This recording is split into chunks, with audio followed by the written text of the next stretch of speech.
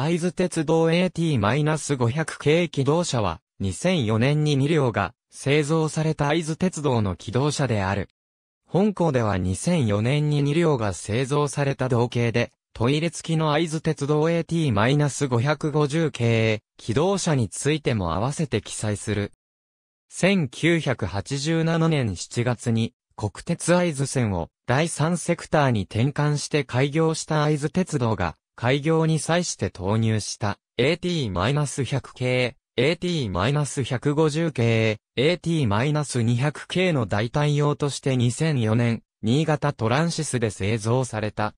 両運転台、片側に扉で、AT-500 型はトイレなし、AT-550 型はトイレ付けである。AT-500 系の車内新型トランシス製の地方交通専用機動車 NDC をベースとする。車体長は AT-100 型より 2200mm 延長された 18000mm 乗務員室は左隅式で正面に貫通扉が設けられた。ワンマン運転対応設備が設けられ、客用扉は従来車より 150mm 拡幅された幅 1000mm のものが、運転室直後に1箇所、反対側の小窓1枚を挟んだ、車端にもう1箇所、乗務員扉は、運転席側にのみ設けられた。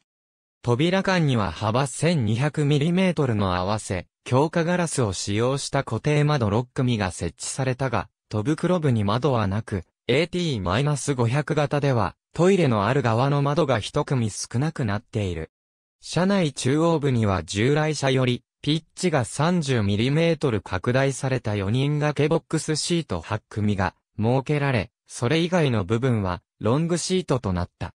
天井は平天井とされ、室内灯を2列配置するとともに冷房冷気がダクトから吹き出すようになっている。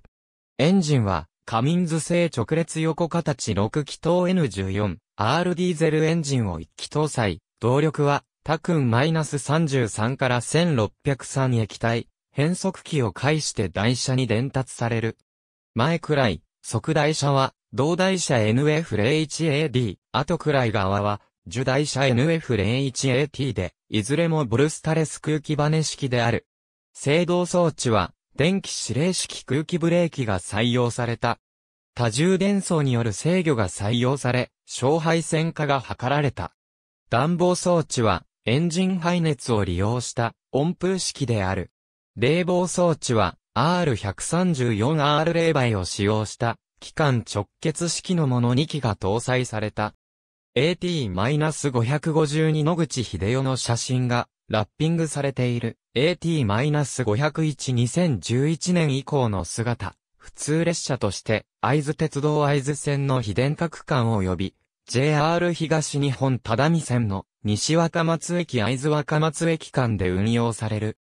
AT-501 AT-551 は、野口秀夫の母鹿が、栄誉に宛てた手紙を拡大してラッピングした、ふるさと列車として登場したが、2011年3月に AT-600 型に準じた一般的な塗装に変更されている。AT-500 に AT-550 には、当初は、オレンジ色の車体に1000円紙幣に、野口英世の肖像が採用されたことを記念する、栄誉と鹿の写真がラッピングされた外観であったが、AT-552 については2014年春から、会津デスティネーションキャンペーンの関連企画として、一般公募による、花咲くあいづ号ラッピングを施している。AT-500 系、AT-550 系の導入により、AT-200 系2両、AT-100 系、AT-150 系、各1両が廃車されている。ありがとうございます。